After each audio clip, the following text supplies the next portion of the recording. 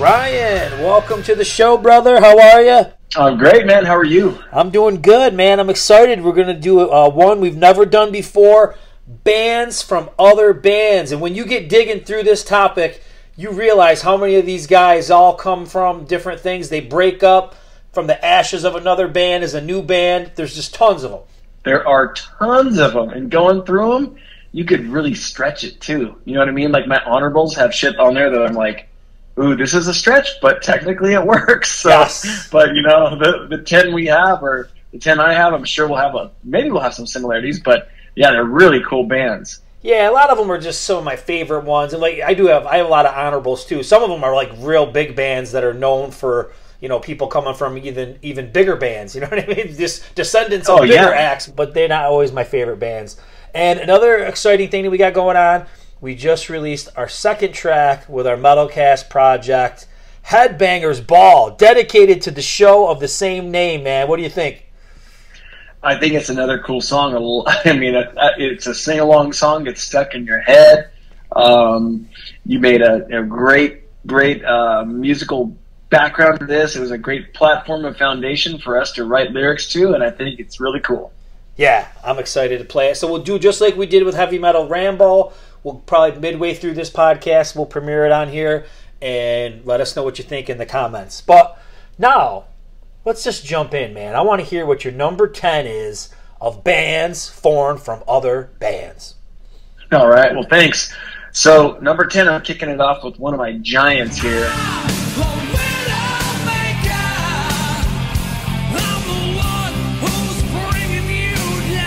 It's Widowmaker from 1992 doing Blood and Bullets. Good one. Good one.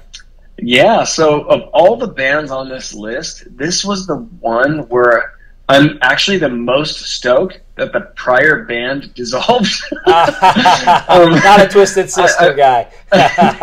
I know it, it's it's very odd, you know. Like D didn't change much, but I've said it before. I I think Love Is for Suckers is such a good album, and I don't really love the prior Twisted Sister albums, and and I don't know that I just didn't give them a fair shake up until this point, or Love Is for Suckers is more of that pop metal later in the Yeah. '80s. So, um, this band was cooking though, man. You had Al, Pet- Al Pitrelli, uh, who played with Alice Cooper, Joe Lynn Turner, Savatage, just to name a few. Yep. Um, just just a killer, huge album, huge choruses, and Dee Snider, I think, sounds the best he's ever sounded on this album. So that's why I put it just to kick off this massive list at uh, number ten.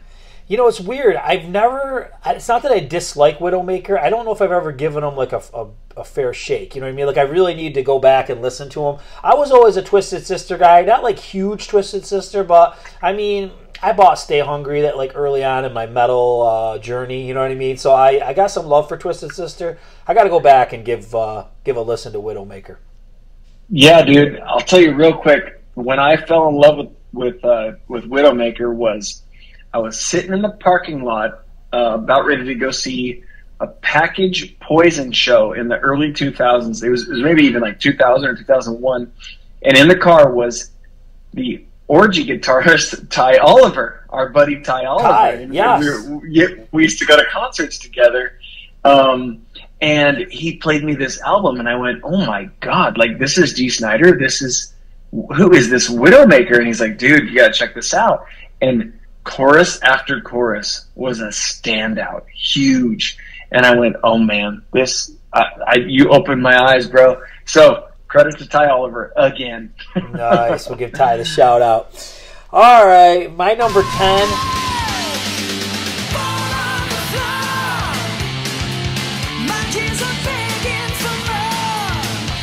Dude, I gotta go with Cold Sweat. Ooh, nice. Marc Ferrari leaves Keel. Uh, when I had him on the podcast, he was saying Keel was going into a direction where they wanted to add a keyboardist, and Mark just wasn't agreeing where things were going. Uh, wasn't any bad blood or anything. He just said, "You know what? I'm out of here. I'm going to form my own band." Wanted to call the band Ferrari, but I think he got in some trouble with uh, the car maker Ferrari, so he couldn't, he couldn't use that name, and he he came up with the name Cold Sweat. And then he, uh, he actually had Oni Logan in the band, and then George Lynch stole him. That's I mean, that might be coming up for somebody. That's another band from another band. But but uh, Oni Logan was stolen from Cold Sweat. Then they got Roy Cathey. But that's such a great album, man. I know we talk about it a lot. I hope people, if you missed it, you know, it was 1990. Times were kind of changing. It was just about to all switch, so they weren't like a huge band. But really kick ass stuff, man. Four on the Floor, Waiting in Vain, Let's Make Love Tonight. Just a great hair metal album, is, is the only other way to put it. You know, it's just straight up good hair metal. So, Marc Ferrari leaves Keel, forms Cold Sweat. So cool that you put such a giant at number 10, as did I, which just goes to show how solid this list is going to be. And I have Cold Sweat on my list. It's much higher because. I love that band. Um, I always remember the story about George Lynch approaching Oni Logan and says, Do you want to be in a band called Ferrari or do you want to drive one? so I, am not sure if that ever came to fruition, but it's a pretty cool little uh, cocky statement that George Lynch had. nice. All right, man. What do we got for number nine?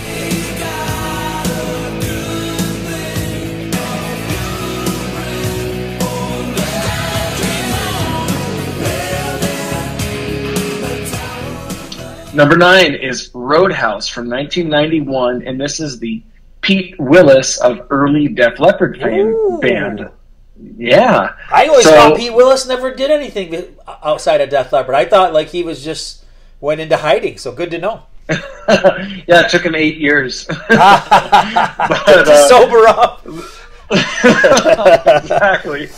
So, you know, he was booted out for boozing too much um, halfway through the recording of Pyromania, but my theory, dating back to our hair metal conspiracies episode, was that he wasn't pretty enough. Ah, yes. and uh, for what was coming, yeah, for the hair, a whole hair metal scene, he wasn't he wasn't cute enough. I know exactly. So uh, you know they had their eye on Phil, who was a little bit cuter at the time, but that's just my theory. There's, there's nothing factual here, but um, I I really hope he pulled a John Sykes here though and got just shit ton of money and didn't have to work again for the rest of his life. And he made Roadhouse and lived a good life. I don't know what he's doing anymore, um, but it's a really cool, kind of a little bit softer. It's it's not a hard um, anything like the hardest stuff off Pyromania or anything. It's a little bit softer keyboardy album, but um, check out All Join Hands, Tower of Love, and Hell Can Wait. That's a good little um, three three piece song out of uh, Roadhouse. So yeah, check that album out. I'm gonna check it. out. I had no idea that he ever did anything uh, outside of Def Leppard. I mean, I assumed he did something, but I didn't know he ever like put out an album or anything. So cool, good to yeah, know. Yeah, I, uh, I don't know if it's streaming on like Spotify and whatnot, but it is out there. I bought the CD years ago. It's got like an old truck, kind of like a uh, uh, illustrated old truck on the cover. So it's a little bit hard to find, I think, but it, it's a good album. All right, number nine, man.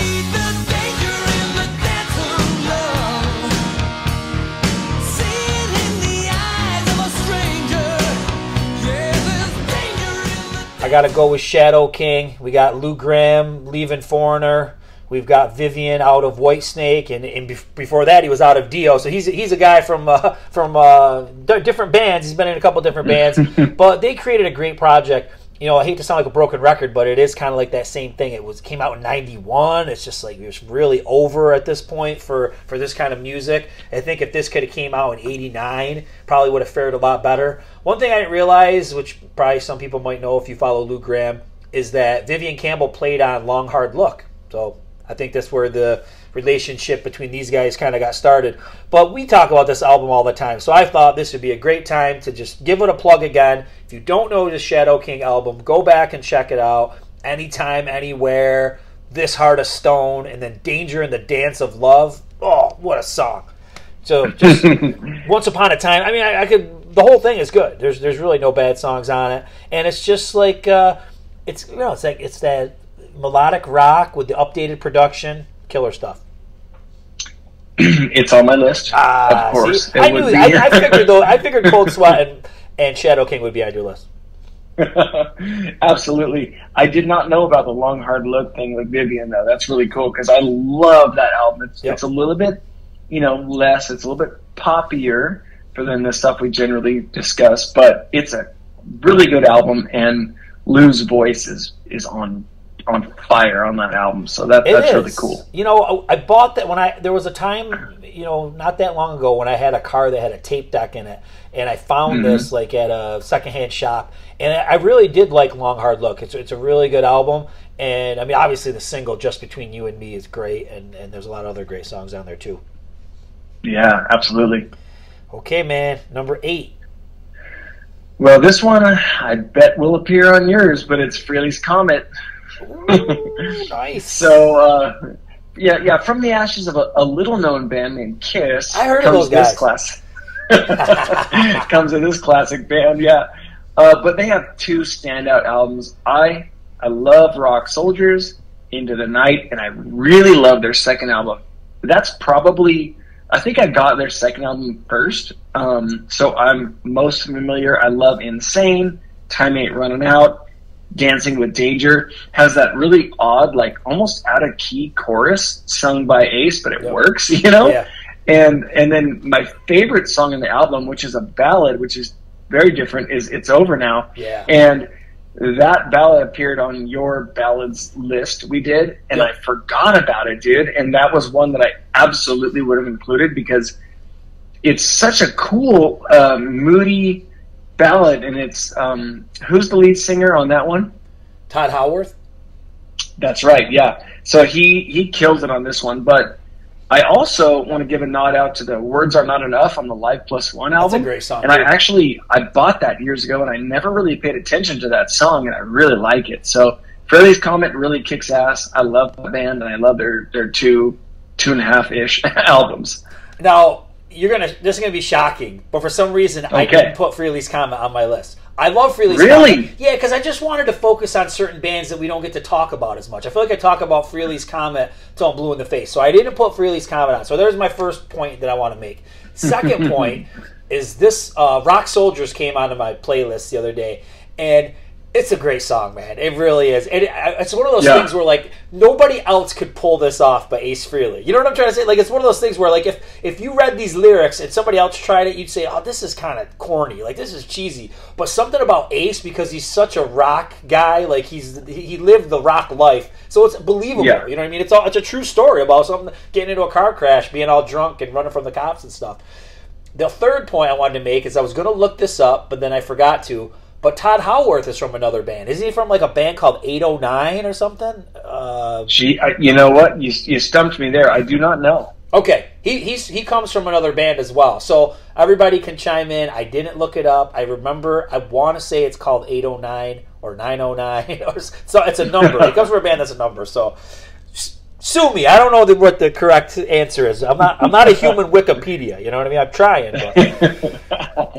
I know because you, you held that on the on, you held that on the Kiss up from the ashes stuff because you're going to talk about Mark St. John's album White Tiger.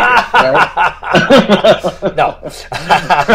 All right. Instead, I'm going to do my number eight, and this is a band. This is big. This is big time. They all came from other bands, and it's Blue Murder. I mean, I can't not mention Blue Murder. You know what I mean? We got oh yeah. John Sykes coming off the success. Actually, he didn't even get to taste the success. He was booted before the success even came off of the Whitesnake right. 1987 self-titled album. We got Yeah. Tony Franklin coming out of the Firm with Jimmy Page.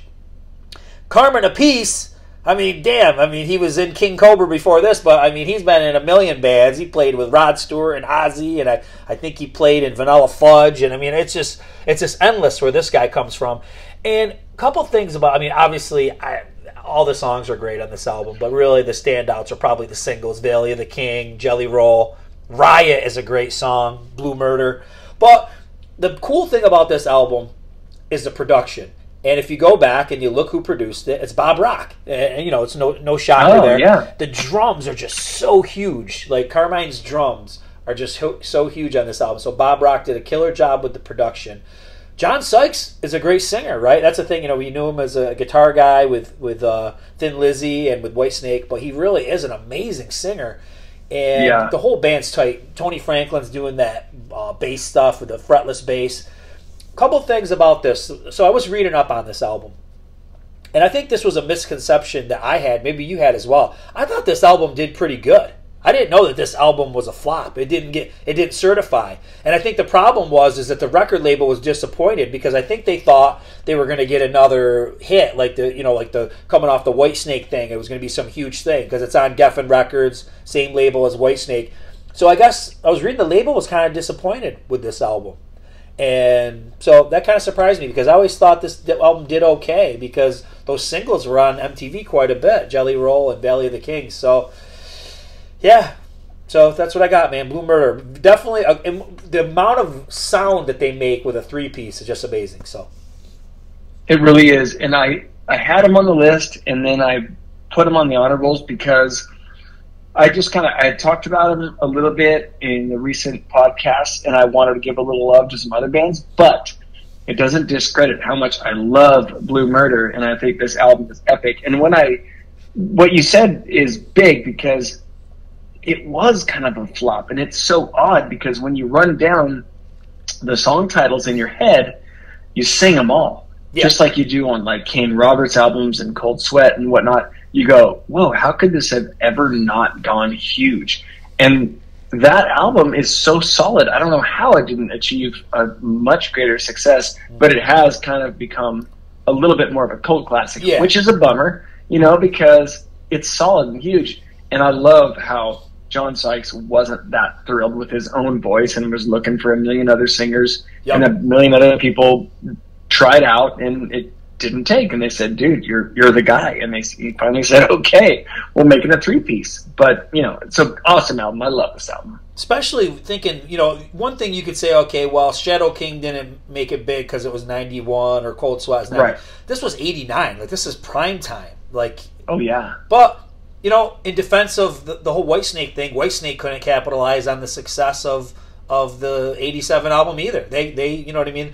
Really, slip of the tongue is a flop. So I know. So, yeah, there you go. All right, man. What do you got for stuff?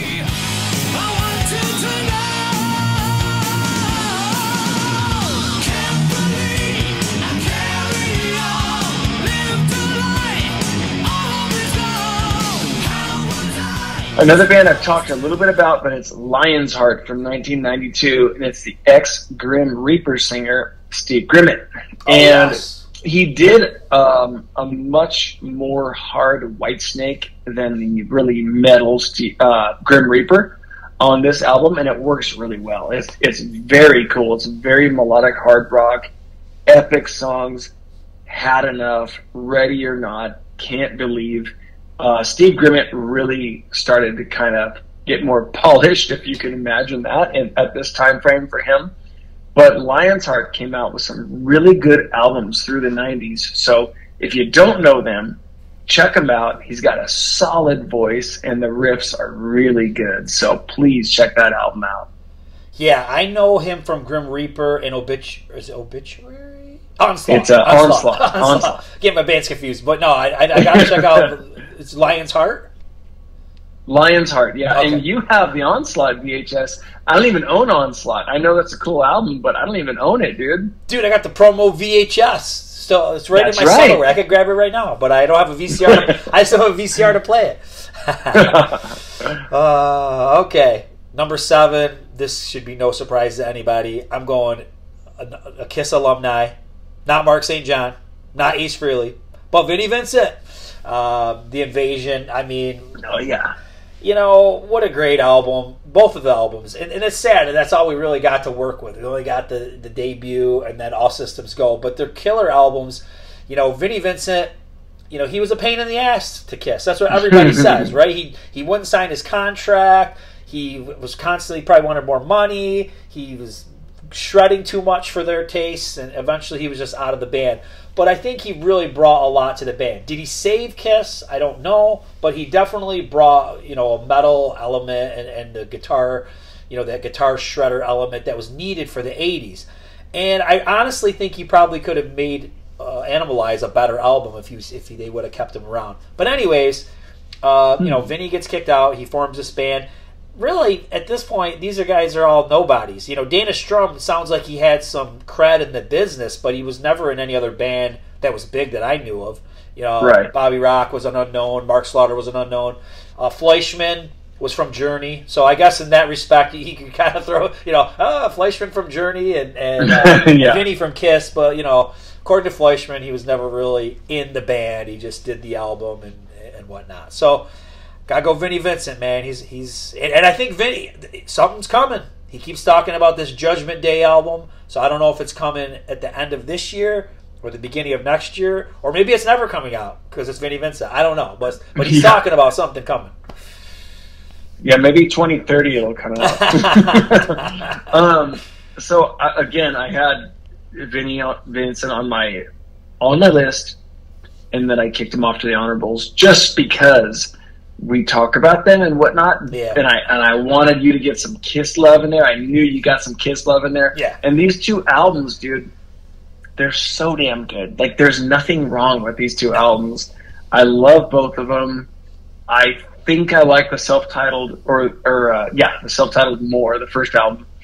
But I can't deny like Ashes to Ashes and this and that off, Oh. off all systems go. So I don't know, dude. It it spawned a lot of good stuff, and you could even say another band was potentially from the ashes of this band. Yeah, don't- don't say it yet. They, they might be coming. it Uh, might be. They might be coming. All right, number six.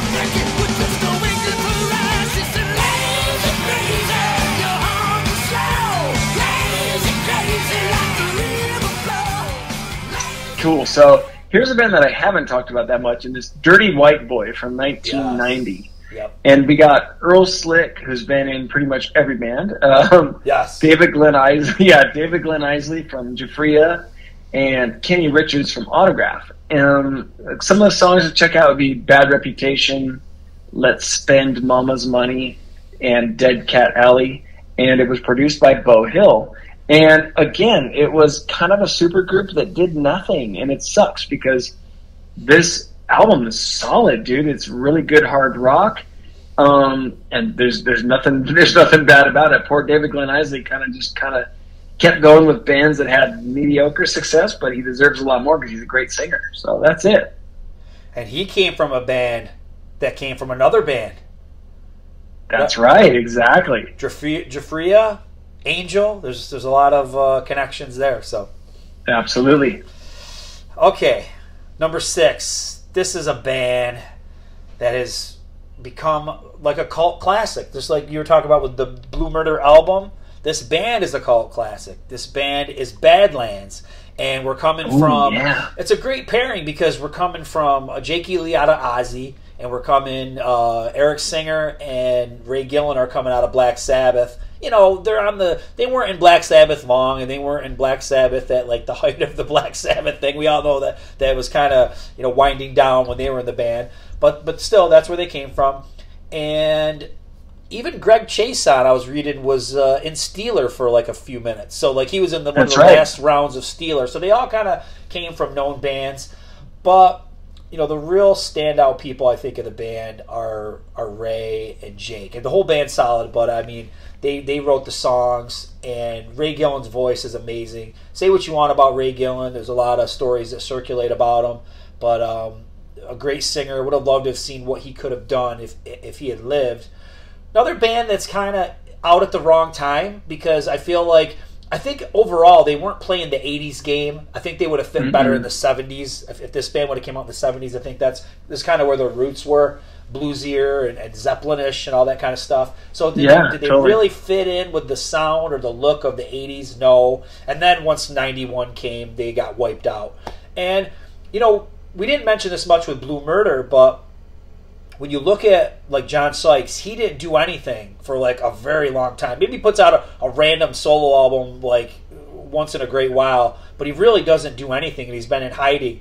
Jakey Lee's kind of the same way. He did nothing for like forever. Then he came back with the Red uh, Dragon Cartel, and then that kind of ended quite a while ago, and he's just been quiet. So it's weird how some of the it's weird how like some of these guys never go away, and then other ones were just like gone forever. I mean, Vinnie Vincent, you say the same thing. I mean, damn, he was gone. He was gone for a very long time, and uh, just came out. So there's three of them right there that are kind of reclusive. So Yeah, totally. And it does. It is unfortunate that this was like a more of a cult classic band because this album is so solid and loved by so many people. So great call having it on there. But they had a little bit of the pop sensibility. If you look back at Dreams in the Dark, that's pretty catchy. Um, I mean, High Wire is a great song that kicks the album off. Dreams in the Dark. Um, what's the other one? Winter's Call was the other video. Yeah. And I, I And thought they got- yeah, Voodoo Highway was really good too. I like a lot of stuff on there too. They got some big tours too. I mean, they opened amphitheaters. You know what I mean? Like they they were really chalked for success, and I'm not sure what went down other than like the time it was released. Yeah, a lot of it, you know, when I talked to Greg, he just said they wouldn't play the label's game. You know what I mean? So you, you know, they didn't really have like a power ballad or really catchy songs. They were kind of against the grain, and I, I think it kind of bit them when it came to the sales. So. Yeah, totally. All right. Well, I think now we're about midway through, so this is a great time to cue up Headbangers Ball. So we've got you killing it on the vocals. You're starting the thing off with a super metal scream, which is uh, very important for a song like this. I'm on there doing bass, some backup vocals. Then we've got Matthias, our buddy, he's playing lead. He did the drum programming, and we brought back our friend Chad doing some harmony vocals. So here it is, man, and it asks the question, the epic question Riki Rachtman or Adam Curry? There's no wrong answer. So check it out.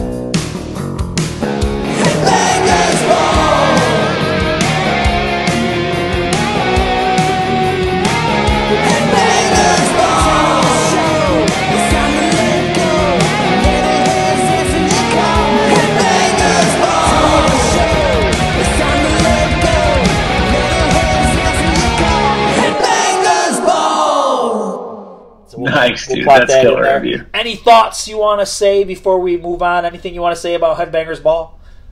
Oh man, you're an epic songwriter, and I'm stoked to be with you. So thank you very much. Hey, I mean, this is a, a group effort, you know, especially with the writing. We've been kind of writing things 50 50. I do a lot of the music, you do a lot of the lyrics. So it's a joint effort, team effort, Well, awesome. team awesome. I metalcast.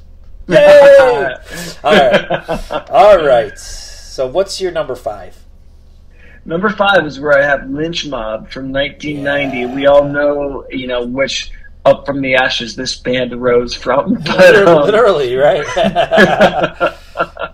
but album one and two, I really like. Um, they have different singers, but I, I do really like it. Short of some horn section in uh, album number two, which I could live without, but that's okay.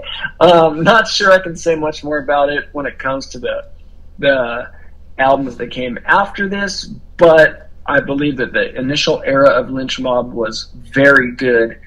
But on this album specifically, Wicked Sensation, you got the title track, She's Evil But She's Mine, and No Bed of Roses. And those songs right there really kind of dictate how awesome and melodic hard rock this is.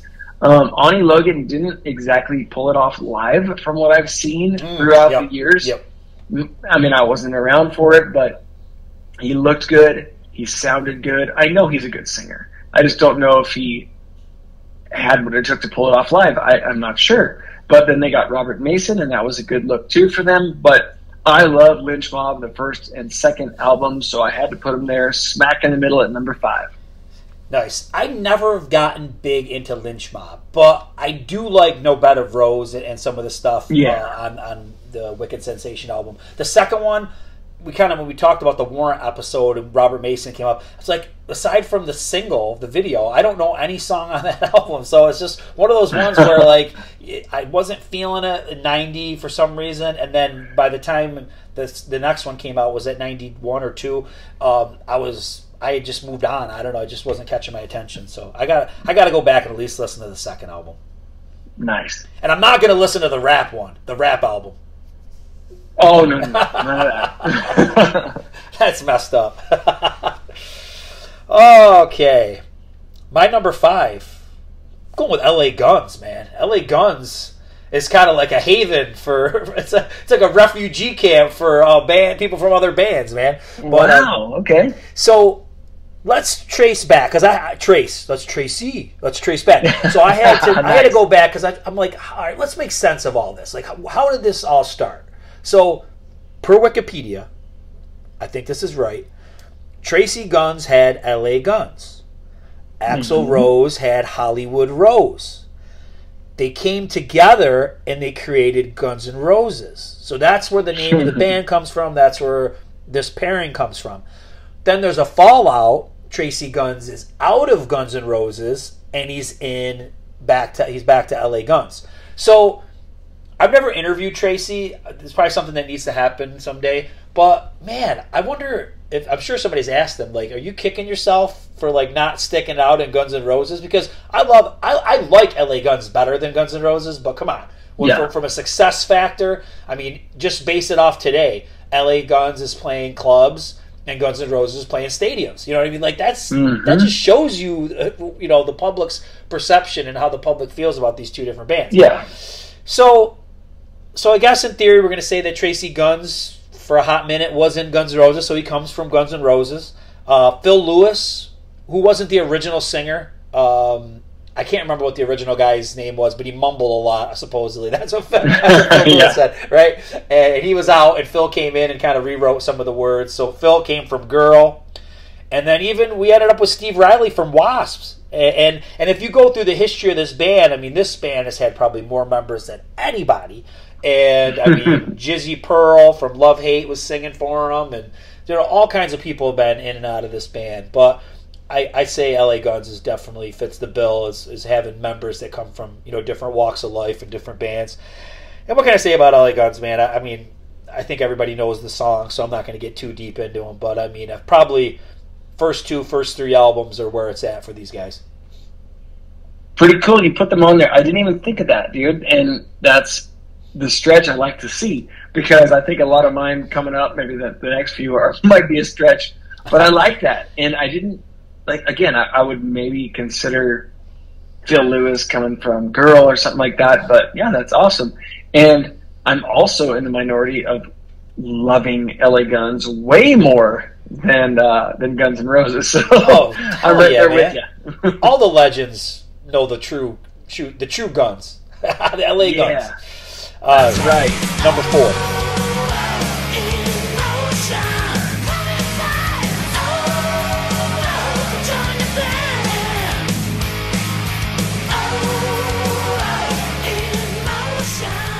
Well, here's one that's kind of a stretch that I wonder if uh, you'll have, but I got Britny Fox coming from Cinderella. Of course, of course. Okay, okay good, good. I'm glad. I'm glad you. I'm, I'm glad you're on board here because I wrote zero notes about it. We don't need love notes. Britny we don't Fox. need notes on Britny Fox. Yeah, we don't. We need no stinking notes. We, we have three killer albums. Um, Cinderella, I think they screwed up kicking those guys out of the band. No, I'm just joking. I like, uh, I love the members of Cinderella. Just joking. Um, but um, you know, Britny Fox came from the ashes. Cinderella kind of axed these guys, and that kind of sucked for them. They started over. They got a Tom Kiefer kind of sound alike, if you want, with Dizzy.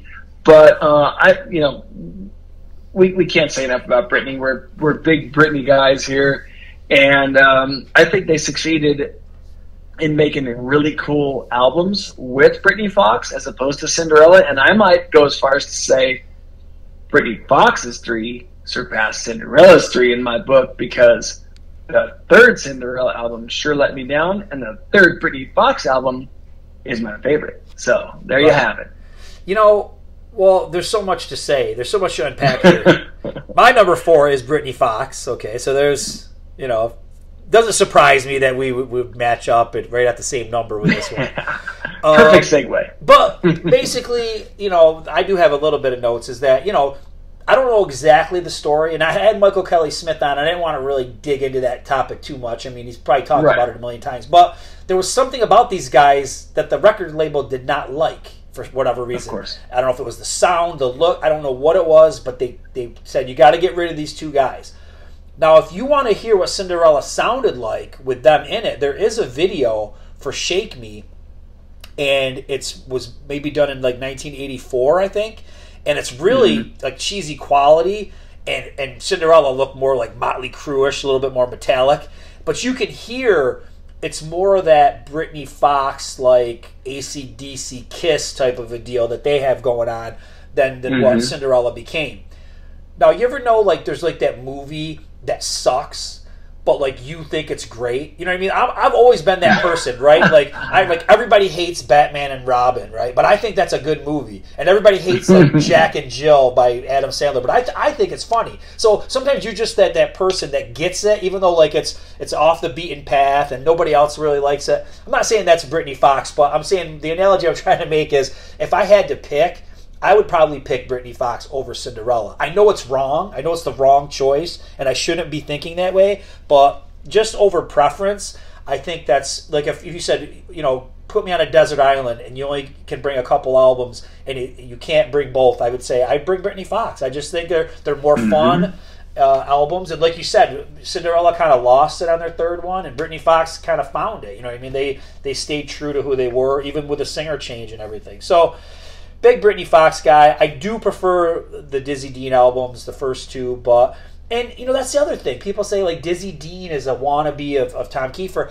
I don't know. Like he kind of has that vibe, but he has his own vibe. And if anything, he he brings in elements of like Paul Stanley and Brian Johnson that have nothing to do with Tom Kiefer. So you know what I mean. So Dizzy Dean is it can't be an, in- influenced by Tom Kiefer. You know what I mean? He he grew up in the seventies and shit. So you know that's the thing that was always pretty blatant about Britny Fox's music. They're, they wore their influences on their sleeves. So like when you listen to Michael Kelly Smith, you hear Ace Frehley. You don't hear George Lynch. You know what I mean? And it's the same thing Yeah. when you think of where Dizzy Dean comes from. He doesn't come from Tom Kiefer. He comes from you know Johnson and Paul Stanley and stuff like that. So.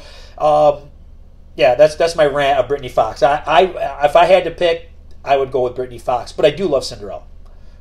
Yes, exactly. But I think the the big difference here is that um, Tom Kiefer never did the splits on stage and then popped right back up and Dude. kept playing music. He would, he would have busted his nut. He couldn't do what what Dizzy Dean did. No way.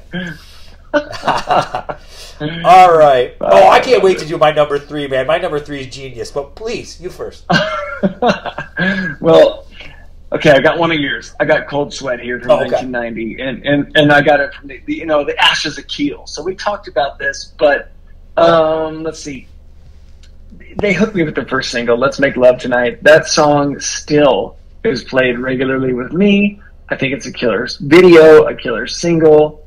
I never turned it off, and it's catchy and amazing. and I wish this band would have achieved humongous success.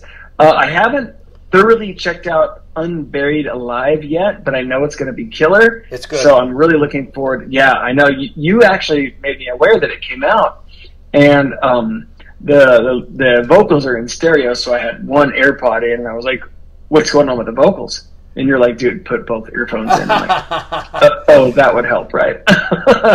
so I got to check that out, but I know it's going to be great. So Cold Sweat is a band that you know I wish they would have just gone huge. Unfortunately, they didn't. I think they opened for for Dio on the um, amphitheater tour that year, which was huge of them, but it didn't really take off due to the year. And that's all I got to say about Cold Sweat. All right. Well, you know I like Cold Sweat. They were my number ten, and and uh, it's a great choice. All right, try to Oh, follow, yeah. try to follow me on this one because some people will be screaming to say that this is a solo act, but but let's talk it. Let's talk it through. Number three.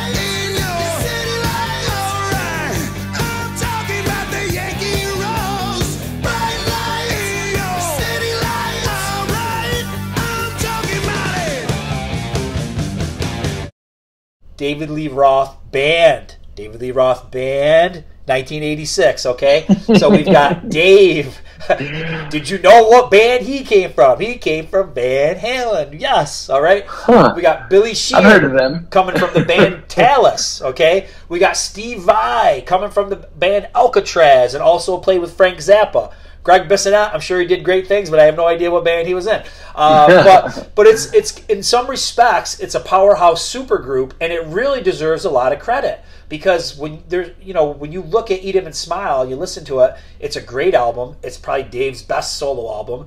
Some of the music rivals some of Van Halen's music. Let's face it, and it's just great musicians, just great. So you can't say this is a solo act because this, like, you can't say you can't have a solo act and have Steve Vai and, and Billy Sheehan in it. There's just no way. So, uh, powerful band, and if you've lo- lived under a rock for many years and you don't know what it sounds like, listen to Shy Boy, and you'll be like, yeah, this is this is a band, and this is a great band formed from other bands. So there you go.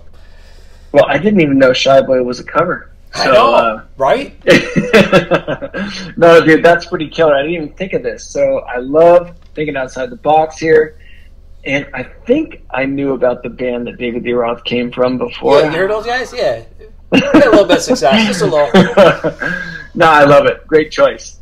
All right, number two.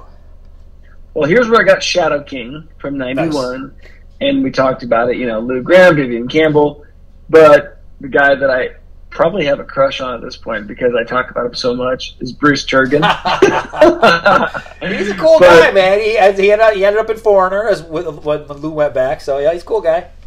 Yeah, and he's got a really good solo album, which I've talked about before as well. So, but you know, it's killer, dude. You got Lou doing a little bit harder stuff, which which fits him really well, and I really hope they get to that unreleased stuff someday, which Lou has talked about in some interviews recently. But I actually have the exact same songs anytime, anywhere. Um, you don't even know him alive, which was one that is epic, and da- uh, Danger in the Dance of Love, which you and I both absolutely preach that song. Love but it. this album's so good, dude. It's so thick, and obviously the musicianship is amazing. The vocals are killer, and it's like um, we talked about uh, Streets, that band Streets, with I think Steve Walsh from Kansas. Mm. All of a sudden, you got a guy doing like kind of metal when they came from a you know like a 70s band that wasn't like 80s metal No, and it looks really good in streets and it looks really good in shadow king Yep. and it kind of rears its ugly head a lot in foreigner a lot on his solo albums but a lot in shadow king so lou gramm's vocals are just absolutely outstanding so showcased a lot here so you know there i am and one guy we got to mention, the drummer was Kevin Valentine, who went on to be a future silent hidden member of Kiss on the Psycho Circus album. So there, there you go. Oh. There's there's a little factoid you may or may not know. So i did not know that's pretty cool yeah, so he was a ghost player uh, on Psycho Nice. Circus. Yep, yep. That's that's something to be proud of. Okay, my number two, dude. I gotta go Slaughter because this really is the ashes for, of another band. Because you know, the Vinnie Vincent invasion basically just burned out and disintegrated. You know what I mean? Vinnie was an asshole. They didn't like him. They just left the band. The, the record label hated Vinnie. Basically, I think he blew like a crap load of money or something like that, and the label was upset with him. And they said, you know what? We're going to give the remaining contract to Mark Slaughter and Dana Strum with whatever it is that they come up with. And what they came up with was pretty amazing. And in a lot of ways, it's one of those other things where, you know, do I love Vinnie Vincent Invasion? Yes. But I'm not a fool to know that what was more successful, what connected with the public, and that Slaughter. That first Slaughter album, right album at the right time, and it, you know, commercially annihilated the Vinnie Vincent Invasion albums. You could put probably take the first two Vinnie Vincent Invasion albums and multiply them by whatever, and you're still not going to get to the sales that you got with the Slaughter album. So, um, good stuff. And, you know, it was just a snapshot in time because, unfortunately, for Slaughter, things did change and it was hard for them to keep up with the musical changes. But, man, what a killer album and what a what a great story. You know what I mean? To, to basically, you know, come out of that band thinking that you you know basically Vinnie telling you guys are going to be nobodies and to you know outshine him, take away his record deal. That's like the ultimate vindication right there. So Damn. Well, people think that we write really good songs together. I hope. Well, you also set me up with some segues, pretty damn good because Slaughter is my number, number one, dude. nice. so that's pretty killer, dude. Um, It sucks though because I feel like I steal your thunder. Like I, I mean, I s- unless I, I hope you got something more. Maybe there's something I missed. What did I miss? Oh, dude, I was just gonna kind of preach like some of the songs, dude. Mad about you, spend my life in up all night. Like, what what else is there to say? And those songs, I think, for like a minute. So, okay, hear me out. There was a there was a uh, Metal Edge magazine used to do a video release back in the old days, and they used to do like a compilation of like going around, hitting these guys on tour, finding at their video shoots and whatnot, and they did a slaughter uh, behind the scenes of one of their concerts. And Mark's sitting there on his huge box brick cell phone, and he's he's talking away. And I swear, in that moment, they might have been the biggest band in the world for like probably a day, maybe 48 hours, because their album was hitting huge at That that point. huge, yeah. And yeah, dude. So they pretty much took Vinnie Vincent Invasion and said, "Who?" and left him in the dust. And Vinnie was probably pissed off, Yep. and Vinnie was jealous, etc. Yep. Which sucks because he was also amazing. But this album didn't come out of my truck tape deck for probably two years, and I memorized every song on this album. I love it, and dude, there's not much more I can say about Slaughter 1990. Nice, nice. Well, now it's my time for my number one. I can't believe this one's not on your list, but I think maybe it's maybe in your honorables. But